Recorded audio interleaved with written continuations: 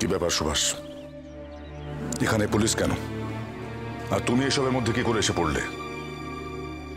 জামাইবাবু সুবিকে কিছু বলবেন না। ওর কোনো দোষ নেই। আমাদের সাথে ওর দেখা হয়ে গেছিল। আসলে স্বদেশিরা কোথায় মিটিং করছে সেটা দেখার জন্য পুলিশ খুঁজতে বেরিয়েছে। আমাদের সাথে এমনি কথা বলছিল পুলিশ। স্বদেশীদের চেয়ে তুমি কিসে আলাদা অনুপমা? একই শহরের এই অবস্থা। তার মধ্যে দিনভর তোমরা এইসব স্লোগান দিয়ে চলেছ। এরপর তো পুলিশ সাধারণ মানুষকেও ছাড়বে না। তোমাদের তো আমি আটকাতে পারব না কিন্তু সুভাষ সুভাষকে কেন তুমি তোমার সাথে নিয়েছো? ওর কি বিপদ হতে পারে কোনো ধারণা আছে তোমার? প্রাণ থাকতে আমি সুবিকে কোনো বিপদে পড়তে দেবো না জামাইবাবু। অনু বাড়ি চলো তোমার সঙ্গে আমার কিছু কথা আছে। না জামাইবাবু তা হয় না। আমরা এখন ত্রাণ নিয়ে বেরিয়েছি।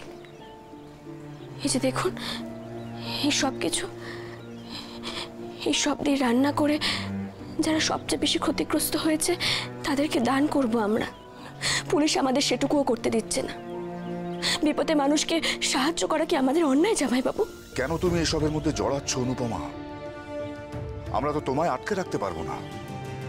তাই অনুরোধ করছি এইসব ছেড়ে দাও। তোমার বাবা মায়ের কথা ভাবো। তোমার ভাই রনর কথা ভাবো। যাতে কেউ আমার জন্য বিপদে না পড়ে, সেই জন্যই তো সব সম্পর্ক ত্যাগ করে বাড়ি থেকে বেরিয়ে এসেছি।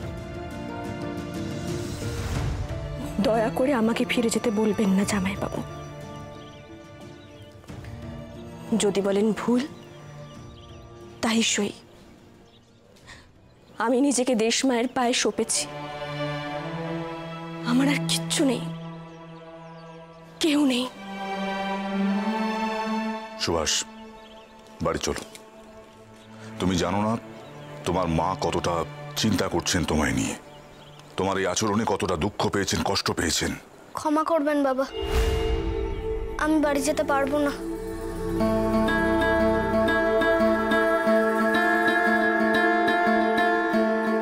আমি সবাইকে কথা দিয়ে ঘরে থাকতে পারছিলাম না। মা অনুমতি দেননি, তাই কাউকে কিছু না বলে চলে এসেছি।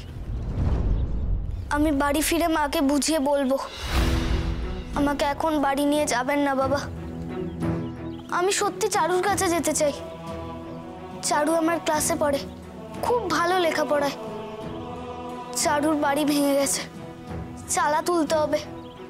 মাস্টার মশাই এবং সবাই আছে সেখানে। তোমার তো মাস্টার মশাইয়ের সঙ্গে থাকার কথা ছিল। তুমি একা কোথায় যাচ্ছিলে? বাড়ি যাচ্ছিলাম বাবা। মিস্তাদার বিয়ের প্যান্ডেলের বাঁশ আনতে। চারুর ছাদটা ঢাকবো বলে।